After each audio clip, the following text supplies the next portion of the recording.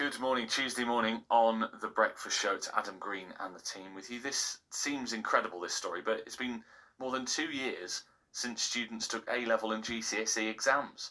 They were cancelled the last two years because of coronavirus, with results based on teacher assessment. Now they're back this year, but exam boards are giving students some information about what will be on their papers.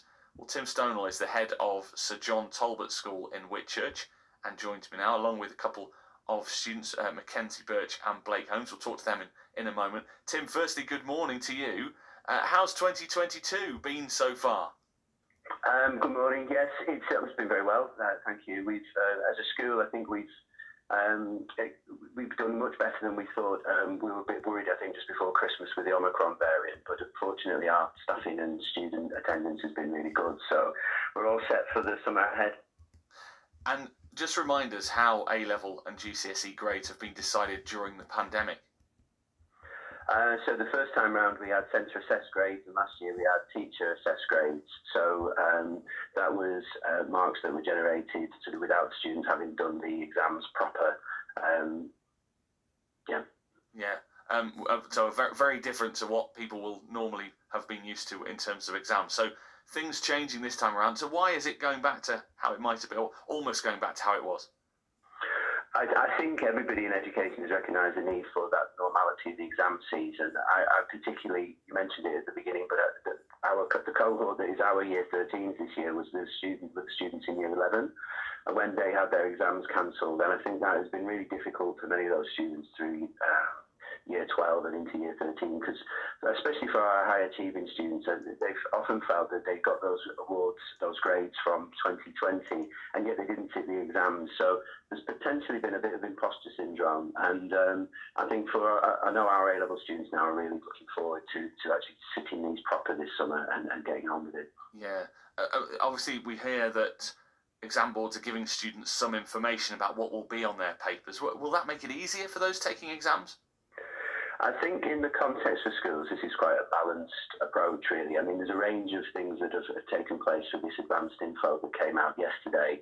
So it might focus um, subjects on, on particular areas of the exam so that they can tailor their revision. There is, in some subjects, there's optional content, so there might be potentially less to revise. There's support materials, the formula sheets or equation sheets in some subjects, and there, there have been some small changes to, to the requirements for coursework. So there's a range of, uh, there's a package, if you like, for this summer that, to help um, offset, I think, the disruption that the students have experienced in the last two years, but to still make sure that the exams run in a normal and conventional sense. Let's bring in a couple of students at Sir John Talbot School. So Mckenzie's taking GCSEs and Blake is doing A levels. Good morning to you both. Um, Blake, let me start with you. What have the last couple of years been like for you with all that's been happening? Um, I'd say at the very least it's been quite stressful, um, to be honest. Not being able to actually come into college, have face to face contact with teachers, um, because I think that's one of the, the cornerstones of actually learning is actually being there, present in the classroom with a teacher, so you're always able to get the assistance you need um, being at home for online learning, I definitely think has stunted productivity. If not for other students, um, I can definitely say for students like myself. Um, with exams back this year, is that a good or a bad thing? Do you think? I think overall, um, it is quite a bad thing because obviously we've, we've missed a lot of the, the precious learning time within um, well our sixth form and other students all around the country. Um, but I think the changes that have been made should hopefully balance things out for all of the students. Uh, Mckenzie, what about for you? What have the last couple of years been like for you in terms of school? Really stressful. Really, really stressful. It's really, it's difficult with, you know, we've missed two years of schooling really, and to be, we're sort of the, with the guinea pigs, we're, we're being thrown in the deep end, if you know what I mean. Yeah, I suppose you're you're getting some idea of what you're going to be asked about in your exams. What have you been told? Um, we got the content yesterday. Um, not all of us will know because we don't see all of our teachers on the same day. Um, but we got a lot of content. What's going to be on the exams? What's not on the exams? What we definitely need to revise. I mean, for science, exactly like there's a lot of re- required practicals Um, and we know exactly what's going to be on there. We know exactly what practicals we need to remember. We need to sort of nail to get marks, um, which I definitely think is going to help us 100%. And the school school is backing us. So I think this year it may be difficult, but I think we'll definitely get through it, especially with the help that's been given. Yeah, it's only going to be a, a positive thing. Is it? Is it good for you to be to be back at school, to be in and around people, to be shared experience with with others, with those that you're at school with? Is that helpful? Because obviously the pandemic was such an odd time for, as as Blake mentioned, being at home, home learning.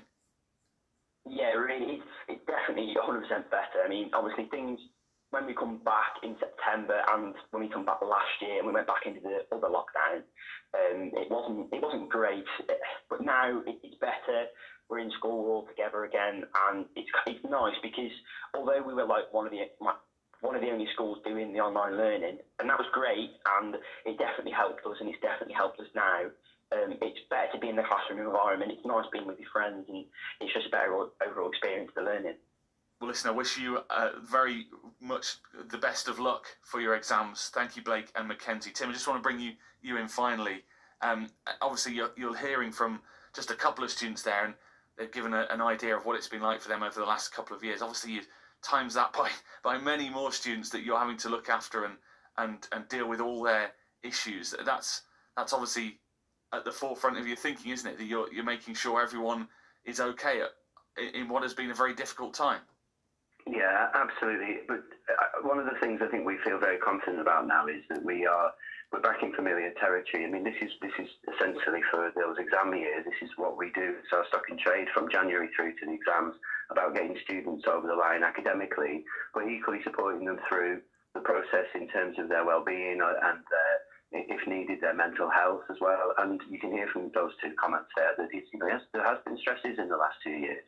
But um, I think that's the value of this summer of students finishing their, with, with their exams. These adaptations, in my view, uh, support them so that they, it's more manageable. And um, the exam boards are saying that there will be this midpoint in terms of the grading somewhere between 2019 and last year. Um, so outcomes should be good as well. And, and it's now just sticking with our plans. And that, as I say, that's, that's what we've done so well in recent years. And we're just looking forward to getting students um, back towards that success this summer. Well, I wish you all the very best with all that's happening with exam season. Thanks for joining us on the programme, Tim. Tim Stonall is the head of Sir John Talbot School in Whitchurch, along with Mckenzie and Blake, a couple of students.